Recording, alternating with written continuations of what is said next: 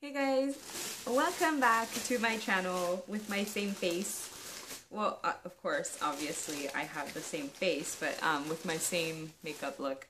Um, so I wanted to do a swatch of, oh my gosh, sorry for so much noise. I promise I'm here to do swatches of the six new 2014 lip soft matte lip cream colors and I'm gonna go from lightest to darkest and I really really really like these. I haven't tried any of these yet so this will be my first time putting them on. My lips are kind of red because I just filmed the Milani what is this? The Milani Lip Intense lip gloss um, swatches.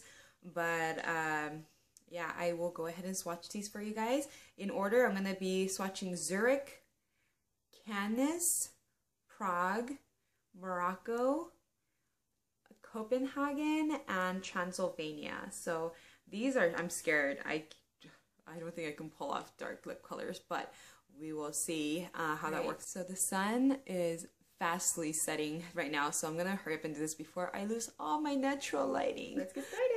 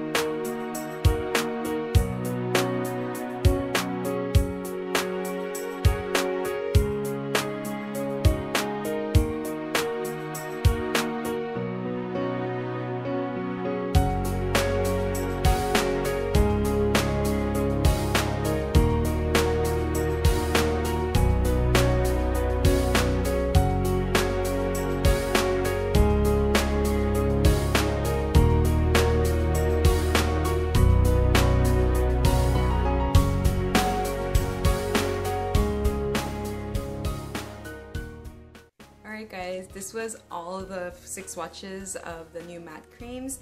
They all go on so buttery smooth and they feel really light and comfortable on the lips. Um, the only one that I feel I kind of feel crazy wearing like almost black lipstick on. Um, you know. But I feel like this last one, Transylvania, didn't go on. Can you see that? Evenly. It's like a little. It's darker right here, and then it's kind of sheer on some parts.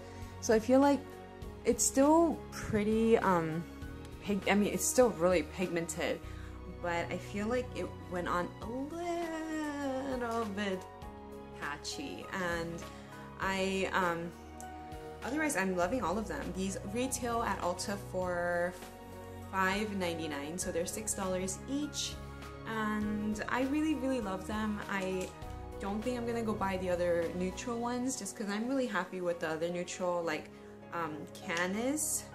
The second one I showed you, I felt like was a My Lips but better color and this was also a really pretty color and they were just all really really great. Like this one was like electric orange, it was so bright like in your face so um, yeah, I feel like they're all so unique and I really, really like them. I feel like if I had confidence, I might, ooh, I don't know, I might be able to pull it off.